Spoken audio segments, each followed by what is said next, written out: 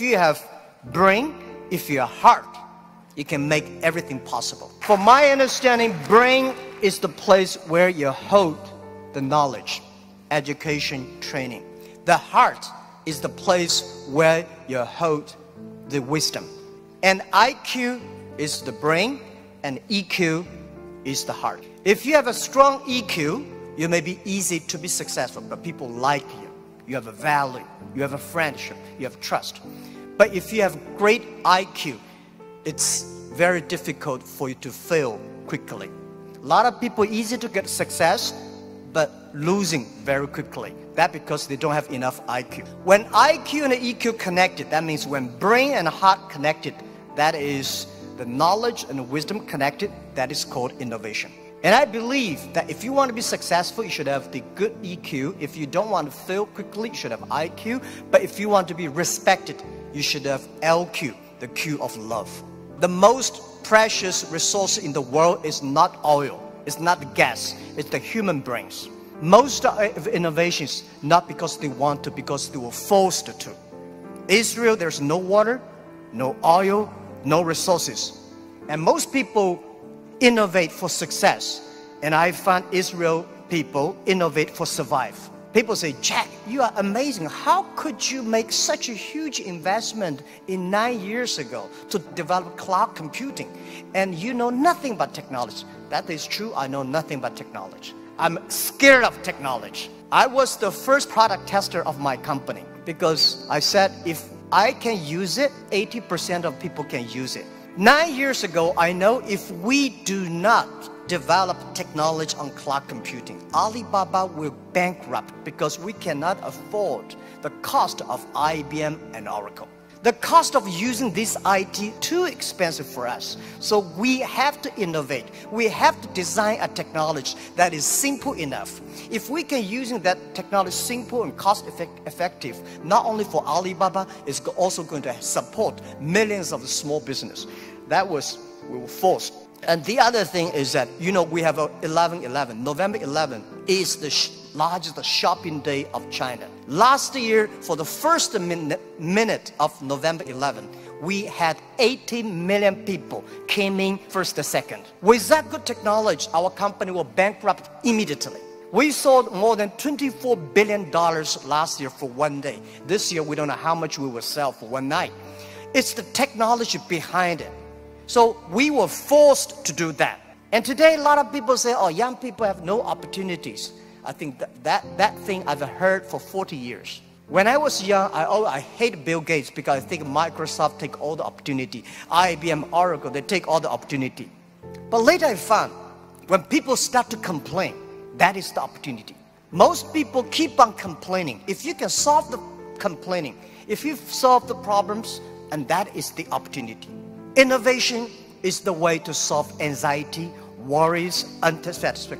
Innovation is for happier life. We believe through the innovation, you can grasp the opportunity for success. The first technology revolution released the physical power of human beings. The second technology revolution released the distance. And this is the third technology revolution, release the human brains. We never satisfied with today. And the way to make, change yourself, to embrace this challenge is called innovation. And I would like to say, who are those kind of innovative people? Who are these kind of people? I would say those innovators, they look like crazy, stupid, lazy, and even liars. When we started Alibaba, I tell the story about I went to Silicon Valley raising fund. I talked to over 30 venture capitalists. They say, ah, crazy. Alibaba, stupid, crazy name. And e-commerce in China won't work because China has no internet, China has censorship, no credit card, no deliver, nothing else. So they think it's impossible to make. They think, Jack, you're coming here to tell a lie. But we believe China has the future. We believe internet is going to change the China. And at that time, e-commerce in America style is only supported big companies. We believe small business. And people say, small business, they don't make money. How could you make money from them? They're right. We say, if small business in America, e-commerce for big companies, helping big company to cut the cost. We think helping small companies not to teach them how to cut the cost because they know better than you do. You should help them how to make the money. And washing machine. A lot of things are designed for lazy people. People don't want to wash, they have a washing machine. People don't want to climb, they have the elevators. So innovation, innovative people are believers. Most people seeing is believing. People like us, we believe and we seal it. Innovators, they are not one person, they are a group of people. So when you invest in money in somebody, you should see does this guy have followers? If you have a group of people who are crazy like him, that would be great. I remember early 2000, I went to the United States to talk about, uh, make my speech about internet in the future in China. I believe internet population in China will be bigger than the USA. People say, ah, that is not true. My reason was very simple. China have 1.4 billion people. USA have only 300 million people. Make everybody online, you know, 300 million, right? So China has a huge potential for that. One of the guys said, Jack, what you're talking about, internet companies should have values and mission, that is crazy. And I say, sir, please come to my company. So I came to Hangzhou, my company, spent one week, and the day he left, he said, Jack, I know you're crazy, but I found 100 people in your companies, they're all crazy. Crazy people don't think they're crazy. They think people outside they're crazy. So, and most of the innovators are not very successful people because successful people very difficult to change. I never try to convince successful people. They will tell you how they succeed. They will continue to do this. Those people who don't succeed, they always want to succeed. So one of the reasons why Alibaba succeed 20 years ago, we never try to convince those people who are successful. We try to spend time on the people who are 18 years years old, 20 years old, they are not successful. So 20 years later, they become successful, we become successful. That is how we did it. Now, most of the people who buy online, they are 35 to 40. 20 years ago, they only spent $2. Now they spend $3,000. That is the difference. Innovation has nothing to do with the technology. When we talk about innovation, everybody think, ah, high technology. It's not about that. Innovation, everybody can do it. Those people who do not know anything like technology, like me, we can find those people, rely on these people, try those people who have the technology. In our site, our Alibaba site, there's a one guy selling shoes 48 inches only. And I say, how can this guy sell shoes for 48 inches? And we find out he's very innovative because people with 48 inches feet, difficult for him to buy shoes in the shops. There's only one on the, on the online. And there are a lot of innovative ways. Those guys design, lazy guys, you know, they watch TV lying on the sofa. So they design a specific glass that you can lie on the, on the sofa, watch the, on TV. They sell perfectly. And there are also some guys, there are a lot of crazy, interesting ideas. They are all wonderful sellers.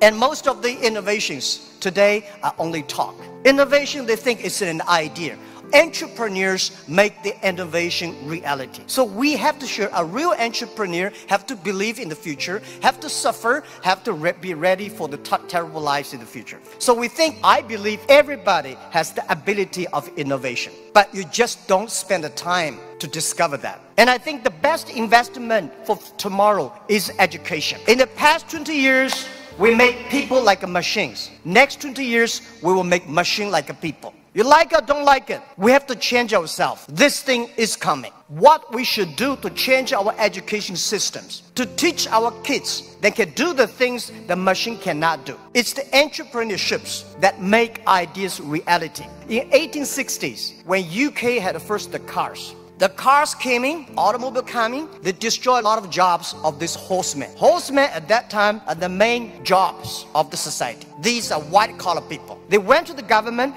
pushed the government, say, you should stop these cars because they're going to kill people on the road, it's going to destroy the jobs. So the government passed a law called Red Flag Bill. They do not allow any car drive faster than seven miles per hour. And they should always follow behind the causes, people start to worry. Artificial intelligence, robots, jobs. But don't worry about it. Human beings are much smarter than machines.